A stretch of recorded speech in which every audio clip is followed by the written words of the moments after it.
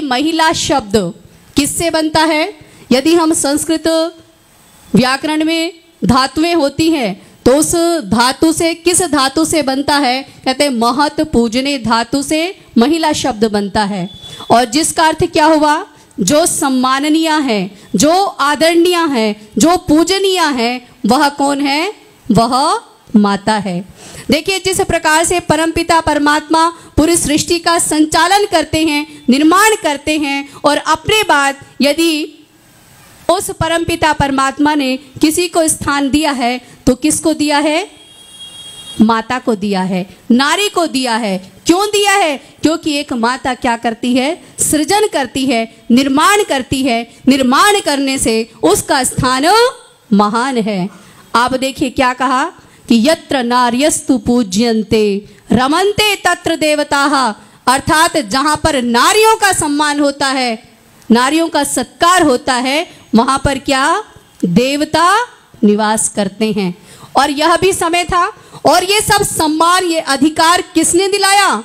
उस महर्षि देव दयानंद ने दिलाया।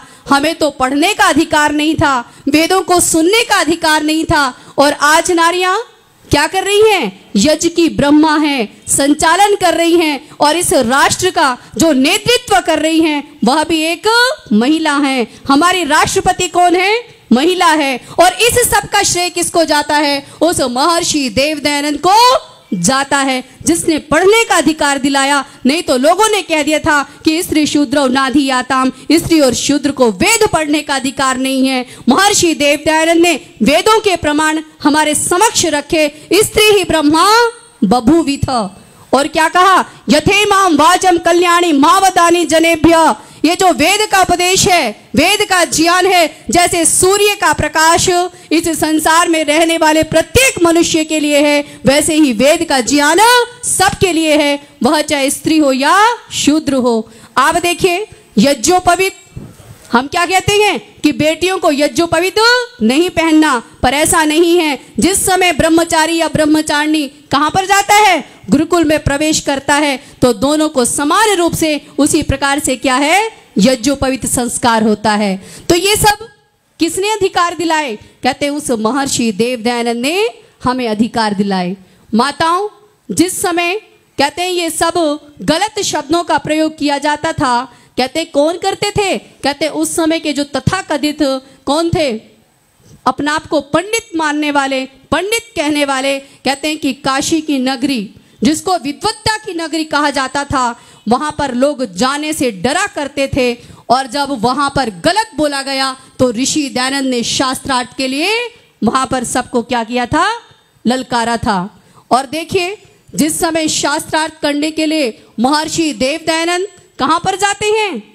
काशी में जाते हैं, शास्त्रार्थ होने वाला है। और जो लोग दूसरे लोग हैं, कहते हैं कि अपने अपने लोगों के साथ, अपनी पूरी पूरी टीम के साथ वहाँ पर शास्त्रार्थ करने के लिए आते हैं। और जब ऋषि दयानंद आते हैं तो अकेले आते हैं। जब वहाँ के लोगों ने पूछा कि आपके साथ कौन है? आप अकेले आए हैं। कहते हैं कि मेरे साथ मेरा ईश्वर है। और आप देखिए, वहाँ पर शास्त्रार्थ करते हैं।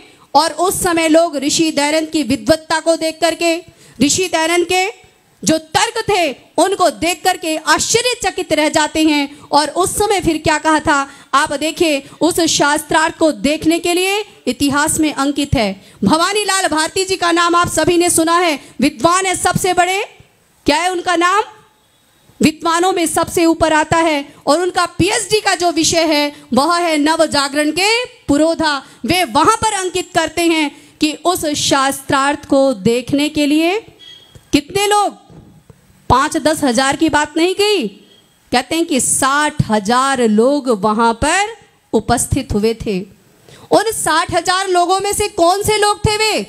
तो कहा कि पचास हज़ार लोग तो भारत के थे, भारतीय थे। और दस हज़ार लोग कहाँ से थे? कहते हैं विदेश के थे, विदेशी लोग थे। आप देखिए ऋषि देव दयानंद कभी विदेश की धरती पर नहीं गए, पर महर्षि देव दयानंद का जादू वहाँ पर भी बोल रहा था। कहते हैं, जादू वह जो सर चढ़ करके बोले और देखिए ऋषि दयानंद की विद्वत्ता को देख करके आश्चर्यचकित होकर के क्या कहा कि हुआ चमत्कृत विश्व अरे। हुआ चमत्कृत विश्व अरे, ये कौन वीरवर सन्यासी किसकी भीषण हुंकारों से काँप उठी मथुरा काशी?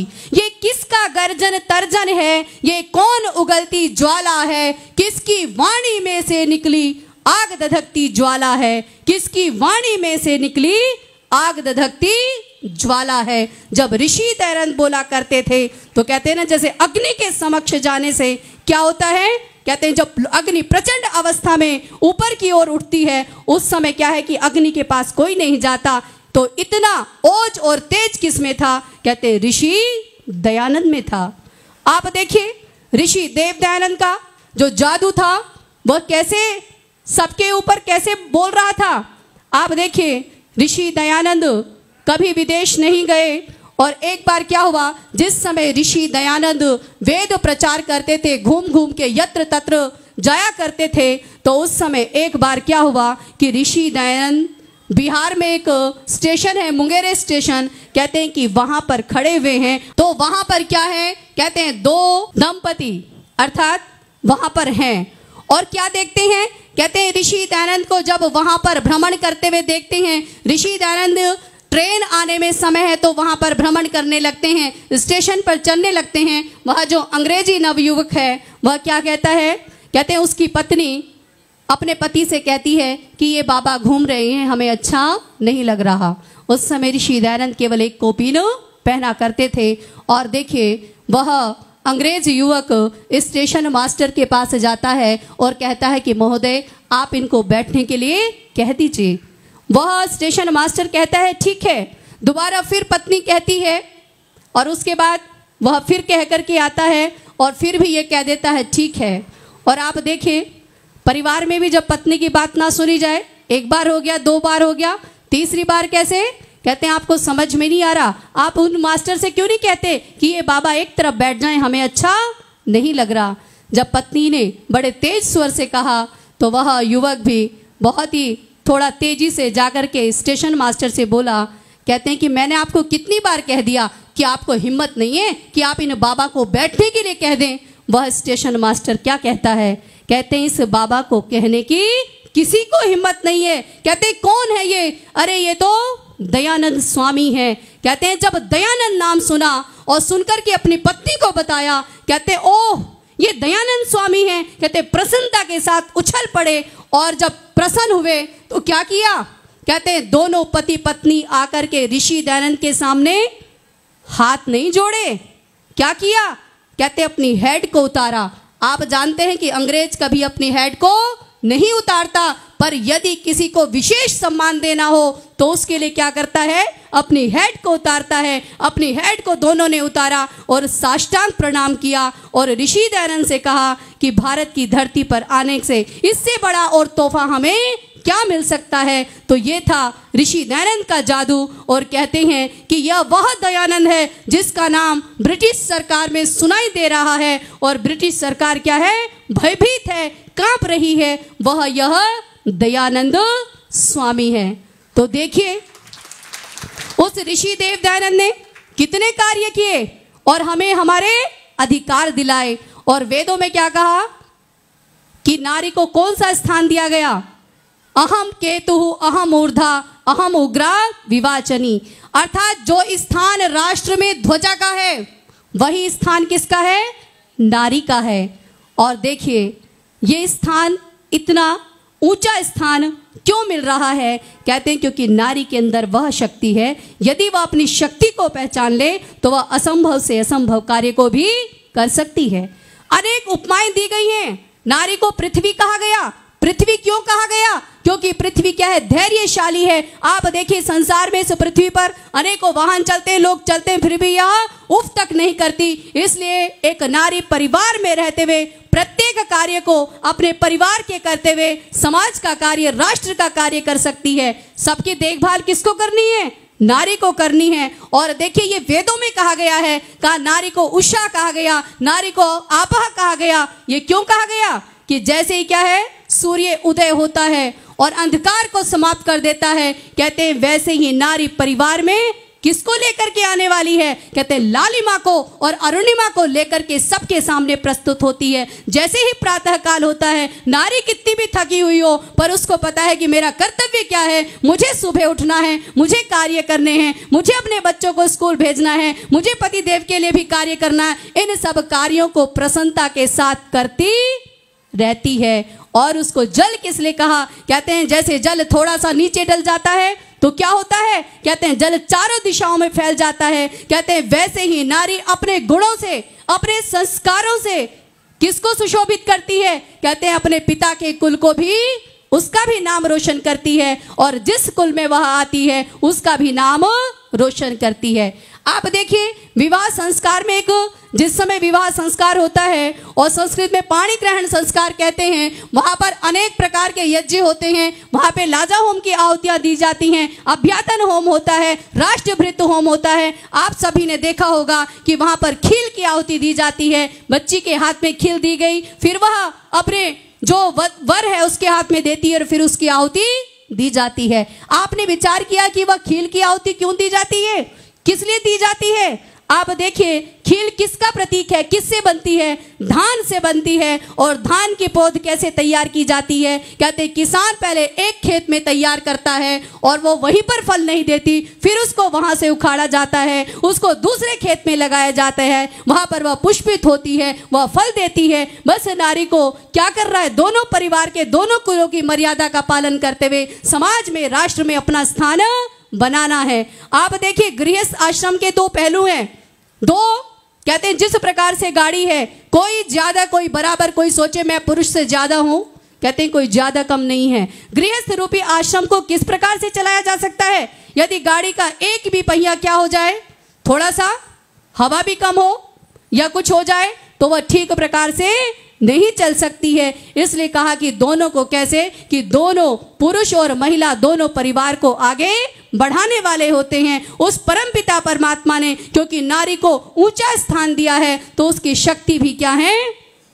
कर्तव्य भी ज़्यादा हैं और उसकी शक्ति भी जाते हैं। कहते हैं ना कि राष्ट्र के निर्माण की दायित्व, परिवार और समाज के निर्माण का दायित्व किसके कंधों पर है? कहते हैं नारी के कंधों पर है। लोग कहते हैं बड़े बड़े सड़कों से बड़े बड़े मॉल से।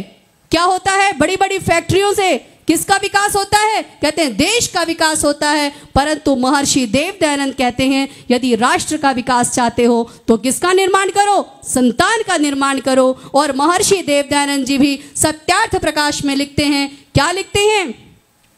धार्मिकी विदुषी माता विद्यते यस्य समात्रिमान आप देखिए, क्या कहा महिला को? पहले की पहले की माताएँ कैसे होती थी? चाहे शिक्षा पढ़ी हो, पढ़ी हुई हो या ना हो, पर वह कैसी होती थी? धार्मिक होती थी और अपनी संतानों को क्या है? उत्तम संतान बनाया करती थी। वेद में कहा कि संतानें कैसी होनी चाहिए? तो वेद मंत्र आया, मम पुत्रा शत्रुहणो अथो में दुहिता विराट, उताहमस्मि संजया पत्युर्मे श्लोक उत्तम। अर्थात नारी क्या घोषणा कर रही है? कि मेरी जो संतान हो वह शत्रुओं का हनन करने वाली हो। अरे माता जीजाबाई ने, भगत सिंह की माँ ने अपने इसी कोख से जन्मा था और संस्कारों के साथ जन्मा था कि मेरी जो संतानें होंगी, वह कैसी होंगी? शत्रुओं का हनन करने वाली होंगी।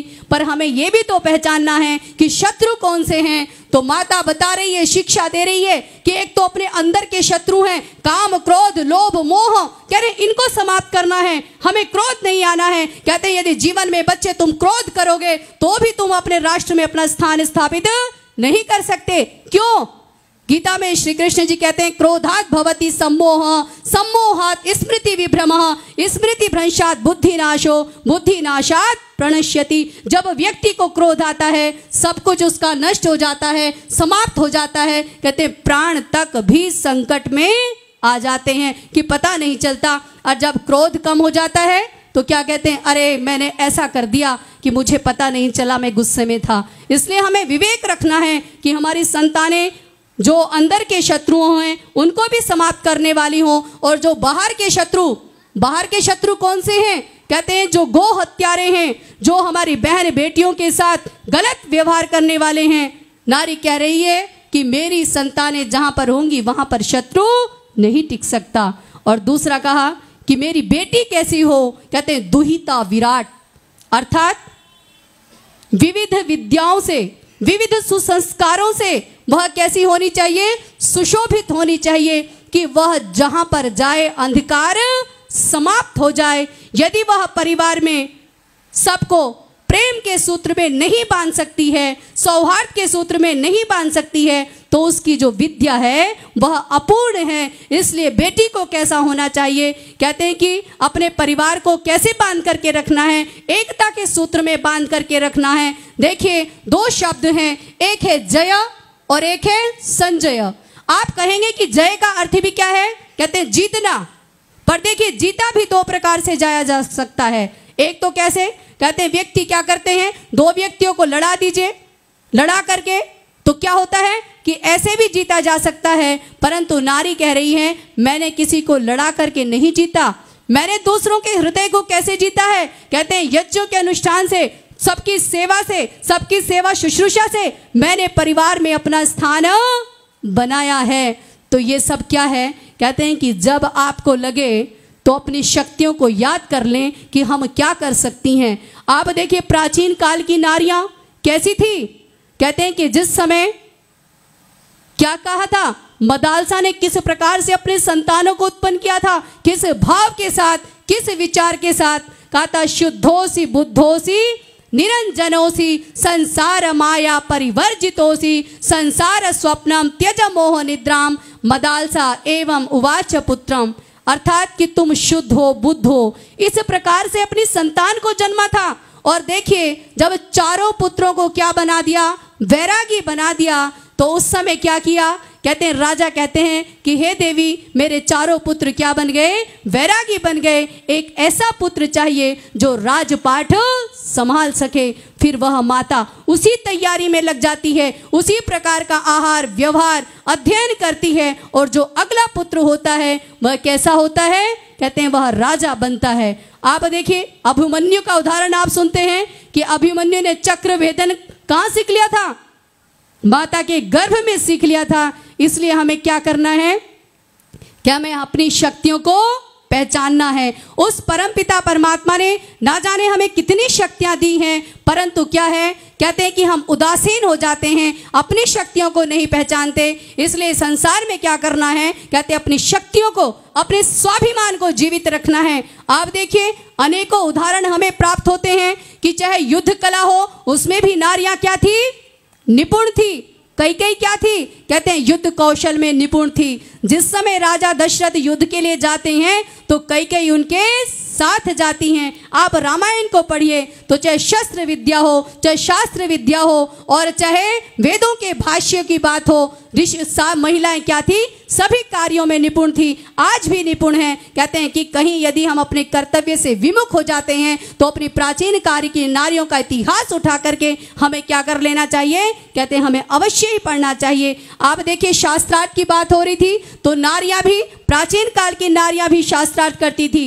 जिस समय मंडन मिश्र और शंकराचार्य के बीच शास्त्रार्थ हुआ तो उनकी मध्यस्थता भारती ने की थी, और जिस समय उनके पति हार गए, मंडन मिश्र हार गए शास्त्रार्थ में तो भारती कहती हैं कि पहले आपको मुझे शास्त्रार्थ में हराना होगा, तभी मैं अपने पति की पराजय को स्वीकार करूँगी। और देखिए, शास्त्रार्थ करती हैं और किसको हरा देती है? शंकराचार्य को हरा देती है। और शंकराचार्य क्या कहते हैं? शास्त्राणी सर्वाणी षडंग वेदान काव्याधिकान यदत्र सर्वम। कहते हैं कि यह जो बाला है, छह शास्त्रों को, छह अंगों को, चारों वेदों को जानने वाली है। कहते हैं, ऐसा कोई ज्ञान नहीं है जो इस बाला को ना हो। चाहे ज्ञान की बात हो, चाहे विज्ञान की बात हो, नारी सब में अग्रणी रहती थी। आप देखिए, आज भी नारियों को अपनी भूमिका निभानी होगी। किस प्रकार से? कि हमारी संतानों की क्या पाँच प्रकार के भकार बताए हैं कि हमारी संतानें वेशभूषा। आजकल बहुत बड़ी बात है ना कि हमारे घर से जब बेटियाँ निकल रही हैं तो वह किस प्रकार के वस्त्र पहन रही हैं? ये दायित्व किसका है? ये कर्तव्य किसका है? ये माता का है। वह बाहर जा रही हैं वह किस प्रकार का भजन सुन रही हैं? वो भोजन कैसा करती हैं? कहते हैं, इन सब बातों का क्या करना है? ध्यान रखना है, उनके वस्त्रों से लेकर के, उनके खाने पीने से लेकर के, उनके मित्र बन करके कहते हैं कि क्या बनना है? कहते हैं कि पहले गुरु किसे कहा गया? पहली गुरु माँ को कहा गया। मातृमान पितृवान, आचार्यवान, पुरुषो, वेद। तो उसमें पहली गुरु कौन सी है? माता है। अपनी शक्ति को पहचान करके कार्य करना है। आप देखिए, यदि स्वाभिमान की बात हो, कहते हैं बेटी को कैसा होना चाहिए? कहते हैं जैसे मध्यान्ह काल का सूरज होता है। और उसकी तरफ़ कोई आँख उठा करके नहीं देख सकता। कहते, वैसी हमारी बेटियों को होना चाहिए। इतना सशक्त और स्वाभिमान हमारे अंदर होगा तो कोई भी दुष्ट व्यक्ति हमारी तरफ़ गलत निगाहों से नहीं देख सकता।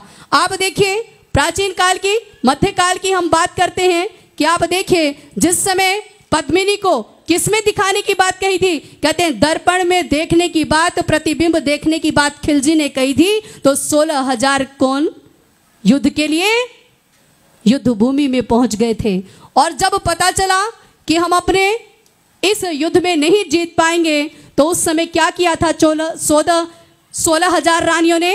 कहते हैं कि अग्नि को जला करके जोहर कर लिया था और सारी उसमें क्या थे? अपना आप को समाप्त किया था। क्यों समाप्त कर दिया था? कहते हैं, हमारे मरने के बाद भी विधर्मी हमारे शरीर को छू ना सके। इस विचारों के साथ, इस भावना के साथ स्वयं को अग्नि में जला करके समाप्त कर दिया था। और देखिए, जिस समय खिलजी दन दन आता हुआ अंदर प्रवेश करता है और क्या देखता है कि वहाँ पर एक वृद्ध माता बैठी हुई है और पूछता है कि, पद्मिनी कहाँ है? तो उसे चल, जलती हुई चिता की ओर इशारा करते हुए क्या कहती हैं कि उधर है, कि कोई संदेश दिया है क्या? तो वह एक वृद्ध माता संदेश देती है। उसमें क्या लिखा हुआ था? कहते हैं, क्या था? कि किसी भी सूरत पे पापी इस शरीर को पा नहीं सकता और ये भोजन शेर का है, कुत्ता इसे खा नहीं सकता। तो देखिए, हमारी जो शक्तियाँ हैं, हमारा जो स्वाभिमान है, वह कल भी हमें जीवित रखना था। और आज भी जीवित रखना है। बस हमें अपनी शक्तियों को पहचानना है। जब इन आँखों में इतना तेज होगा तो कोई भी दरिंदा हमारी तरफ़ आँख उठा करके नहीं देख सकता। और ये सारी ज़िम्मेदारी माताओं आपकी हैं, क्योंकि परमपिता परमात्मा ने आपको इतना अधिकार दिया है, कर्तव्य दिया है, वो शक्ति दी है कि नारी जो चाहे वह कर सकती है। बशर्त हमें क्या करना है? अपनी शक्तियों को पहचानना है। और देखिए, कहते हैं, कुछ लोग थे जो वक्त के सांचे में ढल गए और कुछ लोग थे जो वक्त के ढांचे बदल गए। हमें अपनी भूमिका को निश्चित करना है कि हमारी जो भूमिका है, वह कहाँ पर है। सौ से अधिक देशों में देखा जाने वाला सर्वाधिक लोकप्रिय और सबसे अधिक फॉलोअर्स के साथ पूरी दुनिया में आर्य समाज के विचारों का प्रचार करने वाला एकमात्र चैनल वैदिक प्रचार।